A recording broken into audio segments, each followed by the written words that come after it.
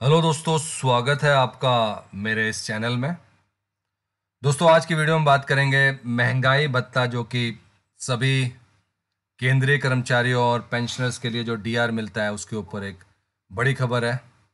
महँगाई भत्ता में जो हर साल दो बार मिलता है, उसके ऊपर एआईसी पिन का जो है, लेटेस्ट आंकड़ा आया हुआ है, जिसमें कि अप्रैल 2022 का जो इंडेक्स है, वो जारी किया गया है।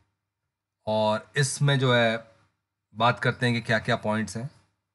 जैसा कि आप जानते हैं कि महँगाई भत्ता जो है, बहुत सारे जो खाद्य पदार्थ हैं फ़ूड प्रोडक्ट्स हैं, उनके जो प्राइसेस में उतार चढ़ाव होता है, उसके बेस पे होता है।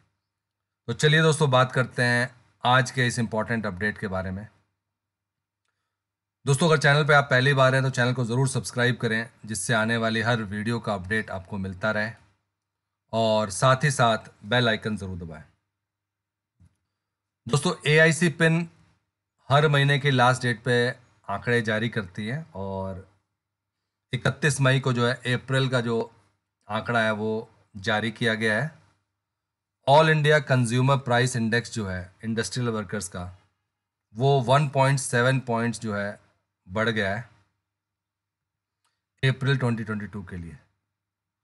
और ये 1.7 काफ़ी बड़ा इंक्रीज़ है, जो कि पहले इतना ज़्यादा था नहीं एंड स्टूड एट 127.7 अभी जो current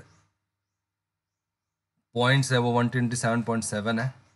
On one month percentage change जो है 1.35 परसेंट चेंज हुआ है इसमें, जो कि प्रीवियस जो प्रीवियस मंथ था उस समय 0.42 परसेंट का था, और इस समय आप देख सकते हैं कि सीधे सीधे 1.35 परसेंट का है।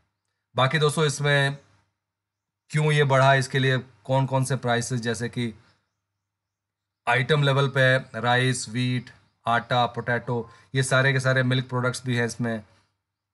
फ्रूट्स भी हैं। इनकी वजह से जो है ये बढ़ा है।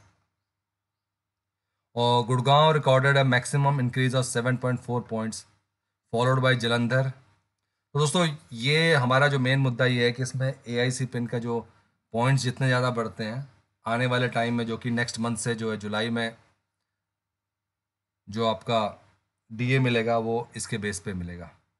तो अभी दोस्तों करंट जो है 127.7 है। और अगर आप इसमें देखें कि कितना आपका महँगाई भत्ता बढ़ेगा तो इसमें बहुत सारे कैलकुलेटर्स भी हैं, जैसे कि आप देख सकते हैं यहाँ पे।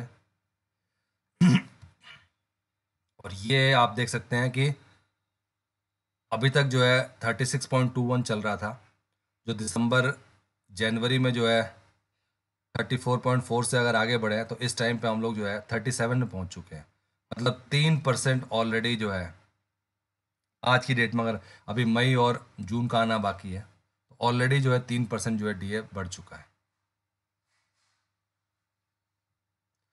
तो दोस्तों, ये था आज का इम्पोर्टेंट अपडेट जो कि महँगाई भत्ते से रिलेटेड है। दोस्तों, अगर वीडियो पसंद आए तो इसको लाइक कीजिए, शेयर कीजिए और सब्सक्राइब करना ना भूलें। Thank you for watching this video